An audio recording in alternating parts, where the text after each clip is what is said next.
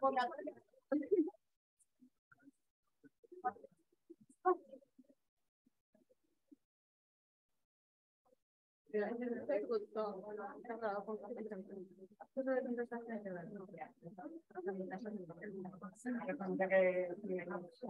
Estar más cerca, puede haber todo el tiempo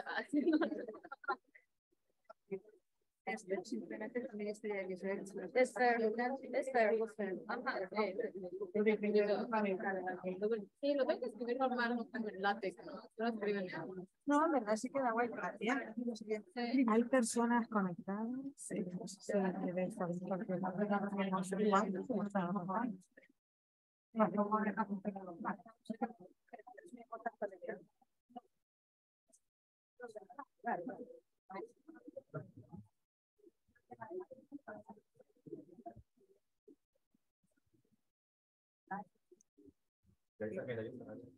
Okay. Uh, for those that are online, we're about to start in a couple of minutes, okay? Lo voy a mover tantito porque hay un hoyo. Sí. Hay una tapa que la puedes poner si quieres para... Sí, ponemos una tapa. Cerca con Esa tapa. ¿Qué tipo de tapa?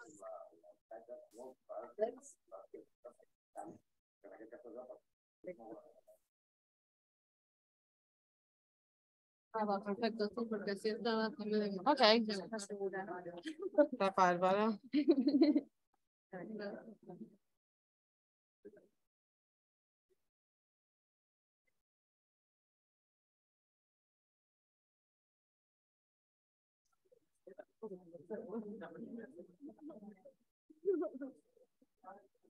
Okay. Good morning, everyone. Good morning. Welcome to this Bioinfo for Women seminar. Uh, today we have the pleasure to found with uh, Sofia Trejo. She's a researcher here at the Barcelona Supercomputing Center at the High Performance Artificial Intelligence uh, Group of the Computer Science Department. Uh, she's specialized in the social, legal, political, environmental, and cultural uh, impacts of artificial intelligence. She holds a PhD on mathematics from the University of Warwick. And she's also worked as a researcher at the University of uh, Sao Paulo and the Imperial College of, of London. She's a member of the Feminist AI Research Network, the FAIR uh, network, and she has been part of the advisor council for the uh, Federal Institute of Telecommunications in Mexico and was co-leader of the National Agenda of Artificial Intelligence uh, in Mexico. So Sofia, uh, welcome. Thank you for giving this presentation and the floor is yours. Hi. uh, well, it's a pleasure to be here. I hope you can hear me well. Um, I'm really nervous. I never given a talk in front of so many people because maths, we never get that many people. uh, but okay, it's a pleasure for me to introduce this project. Uh, this is the first project that I colored and co-designed in AIFX and the first one that we secure funding for. So, uh, so the actual name of the project, uh, which was funded by the Feminist AI Research Network FAIR, is that's obviously a technical name, conversational agent to support the, wor the worthy exercise of interpretation in indigenous languages in the legal field, you know, research names. Uh, so the idea of this talk will be to give you an overview of the whole research process and what led us to the decision that AI was not the right solution for the problem that we're trying to tackle. Uh, so I'm gonna give an overview of everything. I hope you find this interesting and, and it adds to methodology particularly. So these are some of the collaborators in the project. Most of them are based in Mexico. Uh, so first I'm gonna talk about the team. So I was the co-leader along with Ivan. Uh, she worked, uh, sorry, he works in natural language processing uh, uh, at the National Autonomous University in Mexico. And he uh, has worked in the creation of indigenous language translators. Then we have Gabi. She is the co-coordinator of translation and interpretation at CEPIADET. This organization will I'll mention later. Uh, she's an interpreter and a translator, and she's a speaker of Mixteco variant of the Oeste Alto. And then we also had Antonio. Uh, he is a researcher in the linguistic section of the National Institute of Anthropology and History in Mexico. And he has worked in several uh, uh, research projects related to translation and interpretation, particularly within the Mayan language. Uh, in addition to this research team, we had collaborators. So these are the names of the uh, indigenous interpreters who took part in the workshops that we held in Oaxaca. And their contributions to this work were essential. And so obviously here are their acknowledgements. So I'm gonna start with the conceptualization of the work because I think it's important to understand how we arrived to the design that we proposed. So first, uh, the idea was, uh, well, it, it came up as part, so we held a series of events on digital self-determination, uh, which was held at the National Center of the Arts in Mexico. And there were representatives of both CEPIADET. So CEPIADET, the name is Centro Profesional Indígena de Asesoría y Defensa y Traducción. This is an indigenous organization. That's the translation of the name in English. Uh, so I'm going to use their name, CEPIADET, like the acronym. Uh, so they, they participated in these dialogues as well as Antonio, and they highlighted the importance that it has for indigenous people to have access to justice. We'll talk why this is a, an important issue in Mexico. Uh, but particularly, they highlighted the importance that interpretation of indigenous languages have in all these processes to access justice, which might not be surprising, but it's actually really important. So uh, we started with an exploration of how to develop an AI system to aid with access to justice for indigenous people in Mexico. And the first idea that we discussed with Ivan, myself, and Antonio was first, uh, we wanted to help with the first stage to actually have access to interpretation, which is, uh, it might not sound very surprising, to identify the language and the variants. So there's the first step in order for people to actually have an interpreter. So Antonio has experience in this field, and actually you don't need a lot of tools. At least in Mayan, you can do it, uh, identify the variants with only within five and 10 words. So the pronunciation of five to 10 words will tell you specifically which variant of the Mayan language people speak. So with that idea, we thought, okay, we don't need to create a whole AI which will translate languages. We can only create a system which will allow to identify variants with, only a few interactions with users, which will be already very handy. So we talked to CEPIADET about this idea and they said, okay, obviously it will be useful to identify which linguistic needs people have. But uh, in order for this system to actually have a, an impact, it will need to be adopted by the government. So by the legal and the justice system in Mexico. And in addition, even if you find uh, the, the, the, the variant and the language, there is no guarantee that you get an interpreter. So there's many issues that I'm going to talk about uh, that relate to the, the, work of interpreters which actually represent a barrier from actually getting access to interpretation. So, uh, so we decided to change the design, the first proposal, because it was important for our project to first align with uh, digital autonomy and self-determination for indigenous nations. And the fact that this project, for it to have a positive impact, will depend on the government.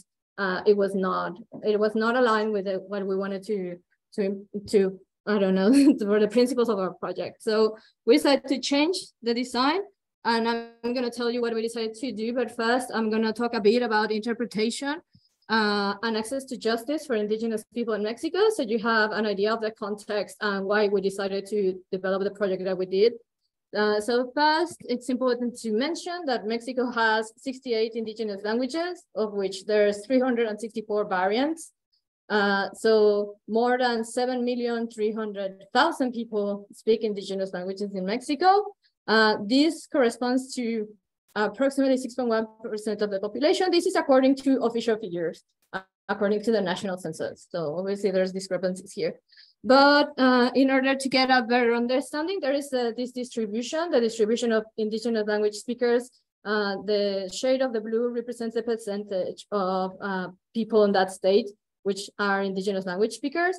Uh, so the state, uh, which I don't have a pointer, but The one that has 31.2%, I don't know if you can see it, it's like one of the three on the bottom, is Oaxaca, which has the largest uh, largest number of indigenous language speakers and the biggest uh, linguistic diversity. That's where CEPIADET is based, and that's the state where we held the workshops and whose interpreters we work with. So uh, what else is important? Uh, yep, so something else in order to understand interpretation in Mexico first, it's important to say that uh, it's uh, a constitutional right for indigenous people to actually have access to an interpreter in all legal procedures uh, and in all trials. And this person only not only has to speak their language, but has to understand their culture. So that is a constitutional right. And in addition to that, uh, in 2003, there was released this general law for linguistic rights for indigenous people, who actually establishes the creation not only of a, an, a national infrastructure to guarantee rights in related to uh, to indigenous languages. So we didn't have this before. And currently the problem is that there is a huge gap between the regulation and actually the practices. And this is a problem that interpreters are facing.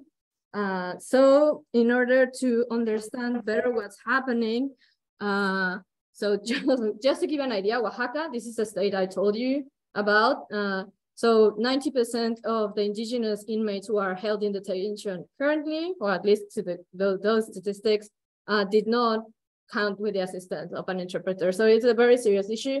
Most of the indigenous people who are incarcerated at, in, in Mexico at this moment did not have an indigenous interpreter during the trials or the procedures. Yep. So uh, so what happens with the experience of people who are actually doing the work of interpreters? No? So we want to help access to justice. So we want to help people who are actually doing the work of interpretation. So, uh, so this is some of the experiences that we gather from our uh, dialogues, not only with CEPIADET, but with Antonio, who has worked as an interpreter and a translator for a long time. So, and this is our only some of them, but there is lack of access to formal work Obviously, this represents barriers to have access to working rights and to social benefits. Then there is uh, no clear understanding of the role. So often witnesses and even the defendants assume that the role of the interpreters is to actually agree with them and help them in their trials or in their cases, uh, which is not what they're meant there to do. And then there is uh, also no follow-up on the development of interpretation. So there, are, there is no government like trace of what interpreters uh, are certified or which languages. So for example, it's a very big issue to, to identify gaps or for example, languages and variants which need certified interpreters in order to act uh, within the legal system. So there's as well uh, payments. That's the biggest issue that everybody highlighted as the most common one that they're experiencing. So payments either they're non-existent or they're delayed. They don't get paid for transfers. They do not get paid for insurance to travel to other communities. And often these are remote communities, so they have to spend like a day or like many, many hours. And none of this is covered. And that time is not considered within their payments, for example. So then there's access to training and certification programs. This is a systemic issue that the government has not, for example, there's no I think at, at, university level, there's just one, uh, one like right now uh, degree that you can get on, on indigenous interpretation and translation, but there is no like extended uh, access to training or certification. We, and then there is discrimination uh, of all sorts, particularly within the legal system. So this is just to, so you to get an idea of the actual experience of people who are doing this work. Uh, and then obviously there is no official data to according to this. So this data we gather or like some organizations like CEPIADET like have some reports on the interpreters that they work on and some other organizations which you have to think that most of organizations work within a state and that has only some certain languages. So there is no national coverage and there is no extent, uh, extensive work on this field. So uh, so the idea was, okay, so let's try to build that system to see if we can help gather data at a national level, which will help uh, the indigenous uh, interpreters. So the idea uh, or the first question is if we could find uh, a way to create an AI which will aid collective uh, the collective improvement of working conditions for the interpreters and to provide them with tools to influence particularly public policy in terms of interpretation. So the design proposal so that we focused on at the end was a conversational agent. So the idea was that by interacting with the agent, first uh, we'll be able to collect or make visible the problems that they're facing on their work. So they will, they will talk about the issues that they're facing with the agent. Then they will have greater agency and power on decision making and public policy, even to design their own programs. They don't know what people, uh, what interpreters need or what they're lacking, what are their, their needs in terms of work, for example. So this will help map that, and then they will collectively build knowledge and resources, resources useful for their work. So you have to think that, that there is no like manuals or things that, for example, glossaries that will help them. So it will be important for them to be able to build their own knowledge about their guild. Uh, so at an individual level, so the system will let them access information in the style of conversational agents. For example, where are the penitentiaries that they have to go to? But you have to think as well that it's important to know what the timetables for the buses are. These are very seldom. Sometimes they're once a day. Sometimes there are days that they don't have buses. So all of this information is very useful for them. So to communicate information about problems that they face in the daily work, particularly regarding, for example, the delay of payments or the lack of payments. This is very important for them. And to collectively build knowledge, no? Uh, and they're interested particularly on things that have to do with the legal field or glossary of terms that they can use. So those were the intentions of the system design at the individual level. And at the group level, well, of course, we'll be able to again get cumulative information uh, which will help bring to light the labor problems that they're facing. As I said, there's no official statistics on this, so we don't know the extent of the problems or and then to serve as basis for design of strategies and programs and to improve public policies. No? So that was the idea of the system. And now I'm gonna talk a bit about uh, how we actually went about designing the work so for us, it was very important to incorporate uh, some principles into work. Uh, we didn't align to any of the known principles. These are the ones that we chose. Uh, so gender perspective, collaboration, co-design, shared benefits, digital autonomy, and data sovereignty. Those are the ones that we chose to be upheld in all the processes and through all the whole of the life cycle. So it was important for everything in the planning of the work. Uh, so uh, as so I'm going to talk about right now only about the design of the system or the idea uh, uh, that we tried, uh, because in later stages we didn't we decided that we didn't have to do the agent, but we will be centered around, for example, digital autonomy and data sovereignty. So we will provide knowledge, tools, support, and infrastructure so we can transfer the technology to the indigenous uh, interpreters organizations. So that will be part of the other stages of the project. So that was part of the idea, but as I said, we stayed at this stage. Uh, and something that was very important, and I think it's very important generally, uh, is to consider power asymmetries.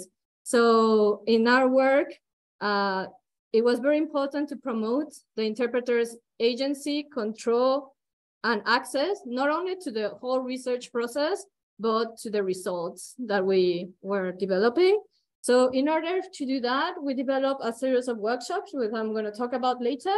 But as well, we created uh, a research protocol and some collaborations agreements. So this document, there's a format that, um, that is available as well, but it, it contains clear and accessible information, including a glossary of what the work is about, it includes, for example, the project, the research team information on how to contact everyone. It has full details, which I think is rare on the funding, where the funding came from, what the funding was used for, like all the budgets. Uh, it, it contained the products of the research because obviously we received funding, so there were some expected outcomes of the work. We made very clear those outcomes and what the licenses for the outcomes because we didn't agree uh, well, we agree with that with the funding agency. So we were very clear on all of that. So this is to guarantee that the, the people who were, came to the workshops had, well, did it following well, it's known as informed consent. So we provide everything beforehand, before giving, like along with the invitation to come to the workshop. And we are as well gave them the consent forms that they will have to sign in order uh, for us to be able to use their information. So, okay, so we did all of that. and then as well, it's important to say that this methodology or like the, the, the fact that we started with a research protocol and collaborations agreement is based on the proposals that have been put forward for indigenous communities.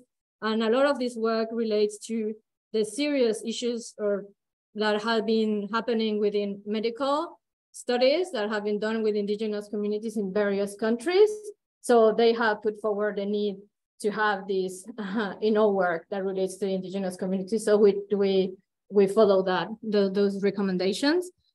Uh, so another important thing uh, is okay. So we did not agree to any of the known AI principles, but we did decide to align our project with the CARE principles for indigenous data sovereignty, which have been developed by the Global Indigenous Data Alliance, which is called GIDA.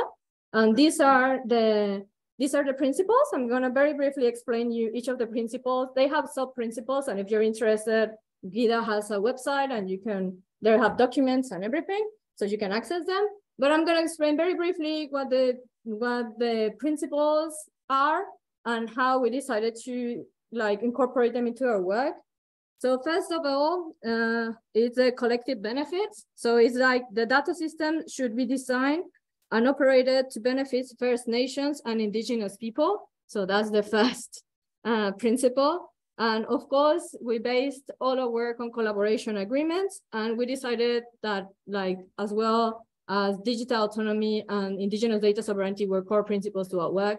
So we were designing uh, strategies in order to transfer the technology. So that's the way that we have a very extensive long version of the article which talks about this, but that's uh, one way that we decided to, uh, to I don't know, to incorporate collective benefit into our work. Then there is the authority con to control, which is the recognition of the rights and, in, uh, and interests of indigenous right uh, of indigenous communities over their data should be recognized and their authority to control this data should be strengthened. strengthened sorry. So obviously, uh, in for us, it was very important to all our work. So we were funded by an international agency. So our products will only have to be in English. But for us, it was very important to make it accessible to everybody who we collaborated with. So we produced work in Spanish, a long version, a short version, so everybody could provide feedback and everybody could read the work, at least the people who we collaborated with. So that was very important for us. And in addition, we uh, we produced a media piece, uh, which actually collects uh, the views and visions of the interpreters. And I'm gonna share the link with you later.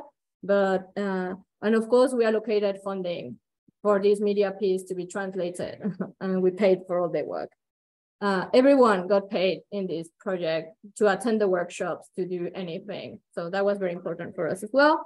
And then, uh, so responsibility to communicate how data will be used to support self-determination and collective benefit of indigenous people. And for us, the way, the best way to do that was to help uh, to hold a series of workshops to incorporate their visions into the work and into the methodology. And then the last one is ethics.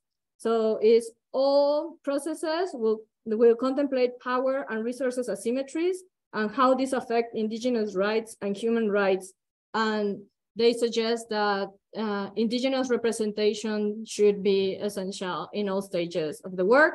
So we included from the design of the proposal, we included indigenous people within our work team and we like all the work we produced was in collaboration with indigenous uh, interpreters in this case.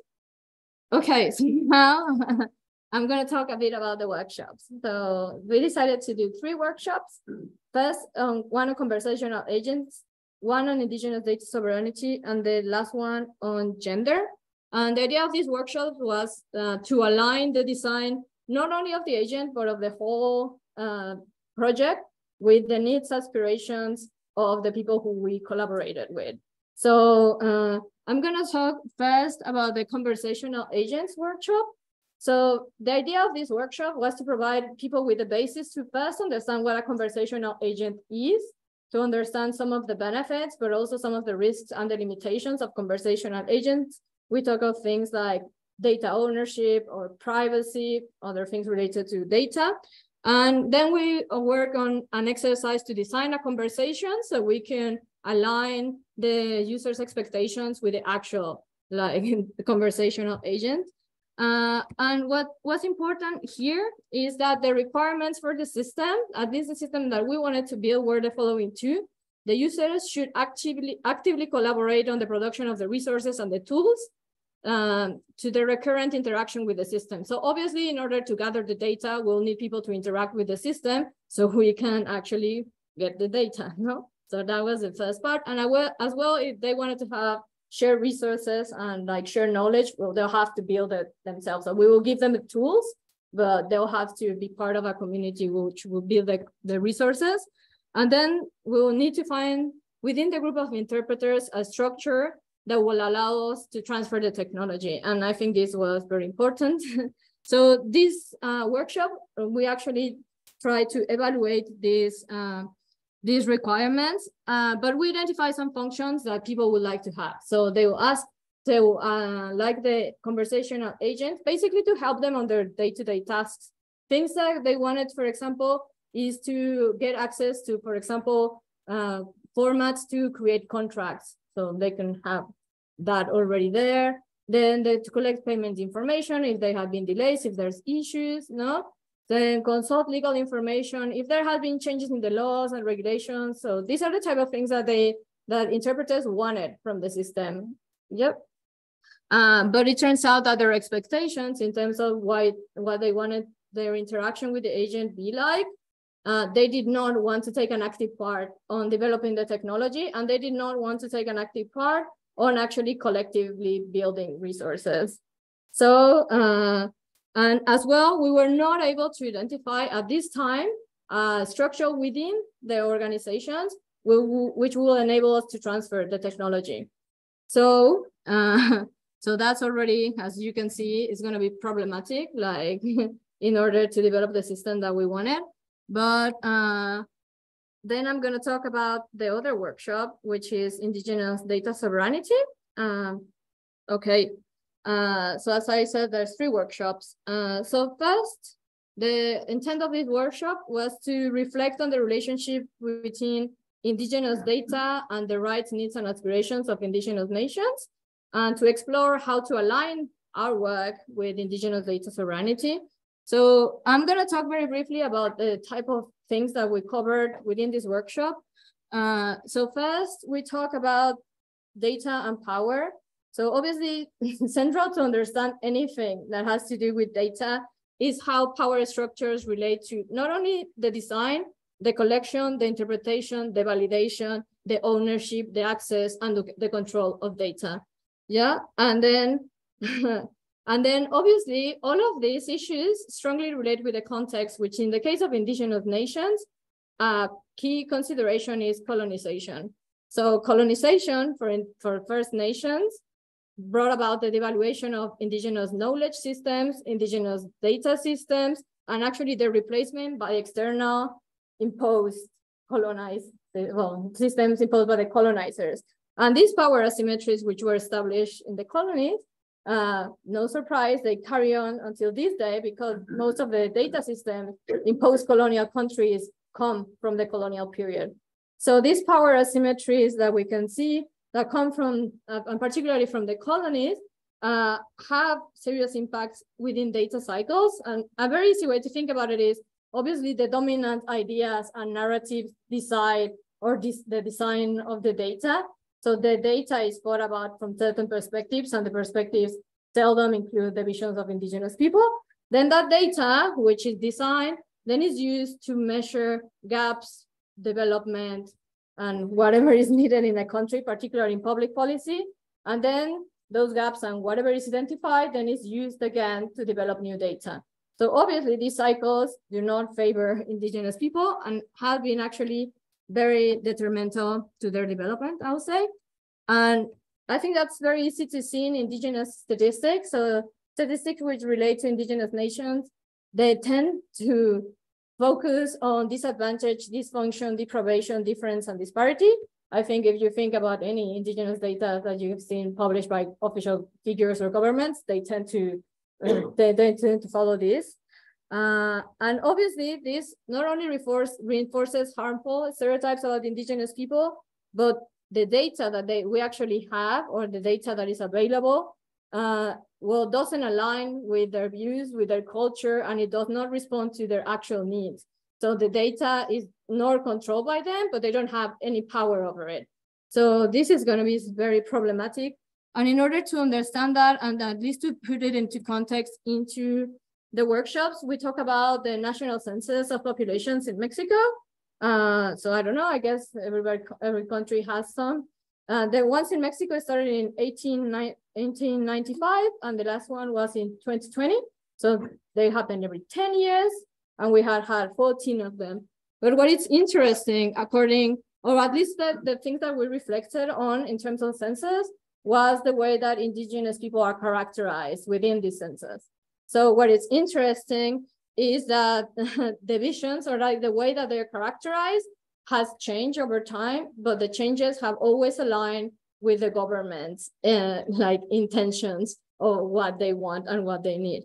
And I think this is very clear and the sense that the only constant criteria in Mexico to identify indigenous population has been indigenous languages. That's the only constant. They had like what they eat, what they wear, like other things have been included in depending on the census, but the only constant has been indigenous, uh, speaking indigenous languages. And I think something that is very interesting uh, that comes about in the census is self-identification as indigenous and race have not been added to most of the census, I think, except to the last one. And what's very interesting is the relationship between the non-inclusion of these characteristics and what is called in Mexico el mito del mestizaje. So there is this idea that Mexico is a mestizo country. That is a that that idea is central to the construction of the national identity in Mexico, and is based on the idea that Mexico is a modern nation, and in order to be a modern nation, people in Mexico are not indigenous, and therefore the, everyone is mixed race. So that idea has been promoted by the government as part of national identity. And in order to support that national identity, the suppression of self-identification and other characterizations of indigenous nations and indigenous people has been suppressed from the census. And just to get an idea of how important that, that characterization is and the difference with, with uh, indigenous language speakers, is that we know that in general, the percentage of indigenous language speakers is decreasing every like every year all the time. So we're losing languages. I think that's happening in spain. That's happening everywhere. So you can see these figures decreasing generally. But on the other hand if they they included things like self self uh, identification of indigenous the case is that figures are actually rising so this is not good for this narrative of mexico as a modern nation or at least what the modern nation that the government wanted to promote so so you can see how the census having a tool to create this idea of a national identity. Uh, okay, so, uh, okay, so well, with this idea, we reflected obviously on, on, the, on the importance of data, on indigenous data, and particularly, uh, I hope that this lets you see a tiny bit of why that actually the lack of agency and control of indigenous people over their own data not only limits their ability to take and make informed decisions, but to make local strategies and to create policies that are actually adequate to their own languages, traditions, and views of the world. And actually this undermines the rights to autonomy and self-determination, which in the case of Mexico, they are granted by the article second, the second article of the constitution, but on an international level, they're part of the UN Declaration of the Rights of Indigenous People and are articles three and four. So therefore, in order to actually uphold these rights, it will be very important that the power and the autonomy, uh, sorry, the power and the ownership of indigenous data relies within indigenous communities. And therefore, uh, it's very important to have data sovereignty. So that's why we kind of discuss in our workshops. Uh, and then it's interesting to, I'm going to talk very briefly about the perspectives of the people who actually participated in the workshops. So obviously they understand the importance of having language as a key indicator of like being part of an indigenous population, but there's other things that they'll consider important, like knowing the culture or actually being born in within a community. But uh, another thing is that they see obviously language as a key way of getting access to justice and to education. Obviously, people who do not speak Spanish, for example, who go to hospitals cannot get proper care because there is no people who actually speak their own languages, even within their own communities. Obviously, that's a huge problem. The same with education. Uh, so, and then the idea was to actually discuss how to apply indigenous data sovereignty within our project, but there was not enough understanding of what the agent will do, what data, what was going on. So we actually spent a lot of the time on that workshop also to explain people like again what we were trying to do. And then just like this is almost the end. And then we talk about gender. So in order to incorporate the gender perspective into our work we decided to do two workshops well separate focus groups one male one females. We know binary is not the best way of doing it but the fact that we work with indigenous people made it like this was the adequate like at least for the work the people who were working on the, the adequate division and we asked them about first about their format, like the so their experience like when forming as interpreters, like their education or training, their work experience, and their future aspirations. And what was very clear in all the workshop was first that people, at least interpreters in Mexico, the ones that we work with, they don't see interpretation as a career. They don't like there's so many barriers that they actually don't see this as something. That's why they, I think they collectively didn't want to gather data because they don't see this as a career path. Actually, what they most see it like is as a voluntary thing that they do in order to help their, their communities or to preserve their cultures and languages. So this is a big gap. Like we were assuming that they see this as a career path and currently they don't. Like there's just so many barriers. And then uh, most of the issues that they perceive in terms of their experience uh, they don't associate them with gender. They, they tend to associate them with the fact that they're indigenous. So that's something, uh, another important consideration. So based on the workshops and on the research that we do, so the outcomes that we consider most adequate for this work will be to create spaces for direct communication and collaboration within interpreters so they can share information and knowledge that they want, or to use tools for the creation of shared resources like wikis. But we did not see the need to create an AI system because basically the fact that there was no organization and structure to make the, the transfer of the technology will obviously undermine data sovereignty and digital autonomy, which were principles important for us. And then the user's expectations was not to take part in the design of the project. So obviously, then the co-design will be an issue. And finally, I share with you that we made this media piece that you can access it as a website uh, which has the papers, like all the versions, but it also has videos uh, where interpreters in their own languages share their own experiences or their work. And that will be, oh, thanks.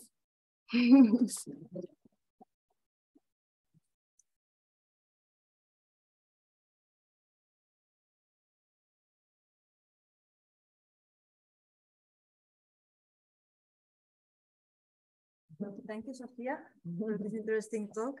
Uh, I don't know if there are any questions uh, here or in the chat yet. Yeah, uh, my question is more biased to the, to the technical part uh, needed just to gather all this information because I guess that not all the indigenous languages uh, have written representation, but only could be more or less be phonetically represented. And uh, then it's I guess it's difficult just to uh, transcribe that because it means uh, that people transcribing that have the, information to do that. And then uh, uh in case you have uh, written representation, you don't have always a font to represent that because if you are using symbolic representation instead of an alphabet, then you need a specific font just to represent that. Yeah, that, that's that's a that's a very good question. Though uh, in our case, all of them are interpreters which interpret from their own languages to Spanish. So the system was going to be in Spanish, and all the work was going to be in Spanish, which is like very lucky for us. a shared language, at least within the work group that we were, yeah, that we were aiming to work with. But yeah, generally for making translators, that's one of the big issues. Uh, again, uh, access to data, many, many other issues are reasons why we chose again to, to work uh, on this design proposal and not other design proposals because yeah, yeah. there's a lot of variety. Yeah, and at the academic level, uh, linguists because depending on the language, sometimes uh, there are there are different ways to, to do that in different languages. I, I'm not a linguist, but I know that there are several languages where it is more difficult to to to tell about numbers or to tell about the future or past events or uh, whether the the words are genderless or are gendered. Yeah, for us, for example, something that was useful is to think for them to develop their own glossary because they're legal terms. For example, they do not exist in other languages or concepts. So for example, to even have ways of explaining that to the people who they translate or interpret for will be very useful. For example, some of the resources that they wanted to build relate to these matters of like actually how to how to actually do the interpretation and what could be useful for them. So that was one of the proposals of things that could be done. Yeah. Thanks for the talk. uh, yeah, I thanks for the talk. It was very nice. Um, I, I, I was uh, curious to ask you like uh, uh, uh about activities for engaging the policymakers because uh, like we are talking about people, the interpreters and the developers, but most of the problems like can be solved at a higher level. So what, what are these kind of uh, activities and for engaging them in the decision? Yeah, so this is interesting because our, our main aim was to work directly with indigenous groups. And in particularly, there is tensions between government and indigenous groups and organizations in Mexico. So our aim was to support them and give them tools to then for them to use them however they see fit. So we did not want to take part on that mediation. We think that the right people to actually mediate that are interpreters and their organizations. So our aim was just to just to help them to give them tools. Uh, yeah, but it's complicated. They're actually like now the, the, the thing is like they're they they they're it's very unstructured. So like the for example, the general law in linguistic rights is recent. So so there is organizations, but only for certain languages. Like Oaxaca is very strong and they have many organizations for translation and interpretation, but that's not the case in the North. For example, as you see, there's very few speakers mm-hmm. and there's some that don't even have organizations for their own languages. So this is very problematic. There's, there's no structure. And one of the hopes that we had is like, we wanted the agent to like for individual organizations to be able to gather data on their own translators and eventually possibly gather national data if people consent and everything went accordingly, because there is a lot of people who do not work within organizations and are doing this work voluntarily within their own community. So you have to think as well that indigenous communities, because they have autonomy and self-determination, they could have different organizational structures and governments. So communities work differently and act differently. So we wanted them to give them as much autonomy and abilities as we could without having any inference on the way they were going to use the data. And that, that was what we wanted to do. Given all these problems that you are uh, indicating, do you see any other tool in the future, uh, more like uh, beyond the, the glossary one or the knowledge one? Because that would be like at least the, the, the, the, the simple way to, to help to give a, a, a, an infrastructure, a tool to, for their own to create a glossary to, I don't know, the medical and the legal and so on. That's pretty much the, the idea of the, of the future, and this is that tool specific. As a, but do you see another step forward beyond that part, beyond the glossary the ontology? Because, because it's very difficult to because it's all talking and there is no writing. So this uh, right now it's not related to an infrastructure uh, to do another kind of uh, software or technology for them to use. Yeah. Maybe like a system for them to create uh, their own words and authority. So Yeah, well, right now, right now. well, the problem generally it's, uh, I would say it's funding, like, because like, we didn't want the system to act like, well, we'll think uh, extractively. So we wouldn't want people to give their data and they wouldn't get anything back. So that's why we established this dialogue within interpreters because the organizations did want the statistics. Obviously, it would be very helpful for them to have these resources. But we didn't want users to actually interact with the system for something that they didn't find useful. So the problem is that there is very, um, as uh, right now what we see is like the structures, they're very horizontal. So there is not much, uh, like, I would say like right now, because of the way that things are happening or this, like, there is not much alignment between the individual interpreters and the organizations. And that's an issue that I think we're beyond, uh, like, not, not even capable of solving, but like, we don't want to actually infer in that, or we don't have to have to have anything to, I don't think it's our field to talk about that. So we didn't see a way of actually having a way of constructing something that will help both uh, the organizations and the individuals. So if we didn't find a way, like, I don't know, perhaps someone else can find another way. But for us, it was important that everybody would benefit. And we couldn't find a better solution. Uh, because obviously if you have resources, then you pay and then you get a census and then you pay everybody to answer the questions and then we get the data and boom, we don't need the AI. No, but that's not the case. There is no resources for that. So our solution to try to gather the data was like a collective, uh, I don't know, give and take, like everybody benefits, but that's not actually the, the what we found.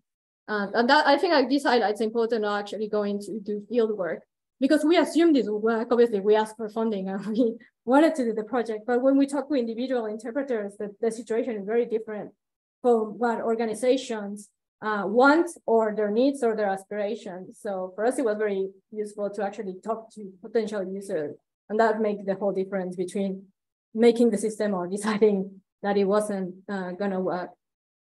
Yeah. Or questions?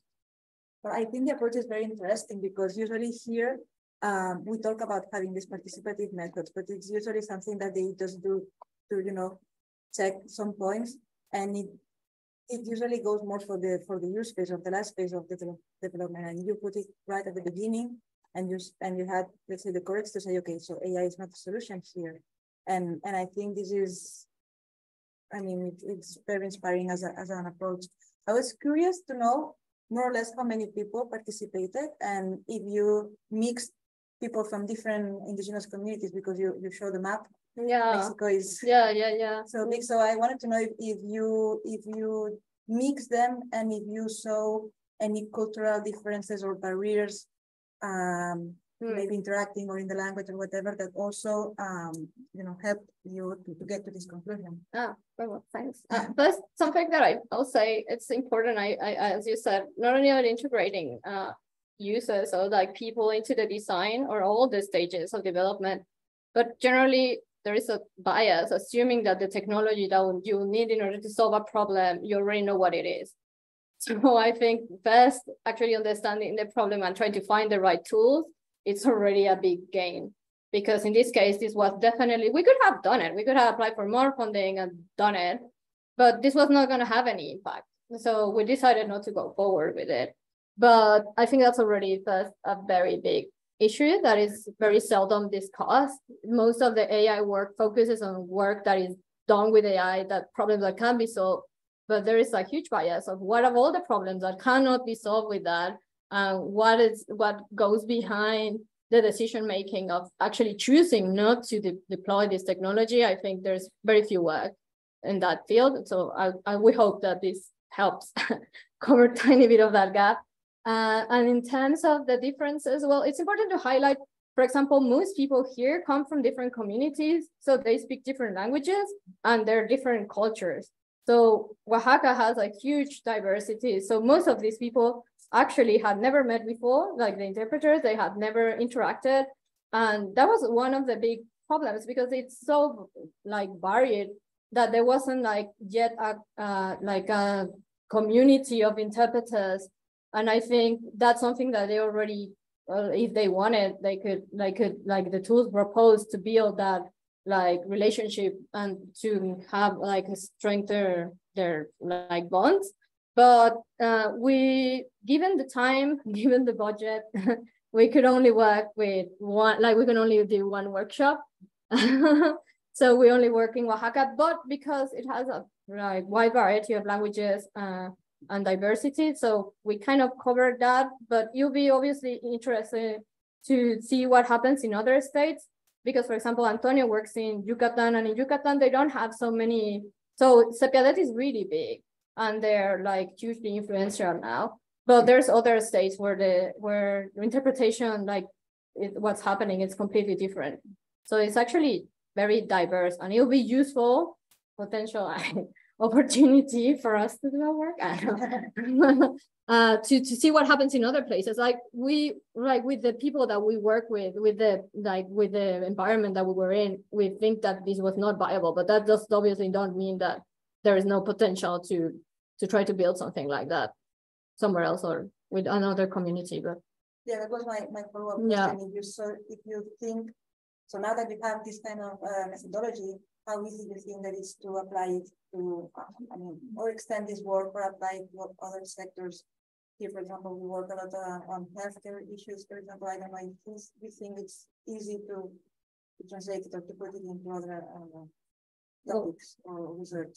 I think generally I'm completely against universalization. I think concept, context is everything. Like here, a lot of the principles, everything that we work with is based on indigenous people's work and their own visions and what they need and what they want. I think other contexts will require to do a similar like check on other things. Uh, because for example, it's very interesting because the field of medicine, even though it's one of the highest regulated or whatever in terms of what's been going on with indigenous populations, like the atrocities that have been committed by medical like experiments and whatnot on indigenous communities is terrible. And many of the protocols and many of the work and many of the things that are related to their having their own ownership and control over data relates to medical data, which is very heavily regulated in other places. But so it's interesting because I think that these data well, there's discrepancies on what what they want, what they need, and the way that they think it will be best for them to actually achieve it. So I think the idea of actually looking into context and what people need from the beginning is useful generally, I'll say. and I think I, for us, a very difficult thing in order to do something like this was to secure funding. And And I don't know, it's difficult as well to produce work that is not what people wanted, which was an AI system. so, uh, so yeah, hopefully, hopefully we'll find where to promote this. Yeah, any ideas are welcome. yeah. So. Yeah, but I think it's thank you. Ah, sí. okay, so if there are no other questions, then thank you, Sofia, so much for your mm-hmm. talk. And she will be here. Uh, she started one month ago. So yeah, you can always find her in the second floor. Thank you. Thanks.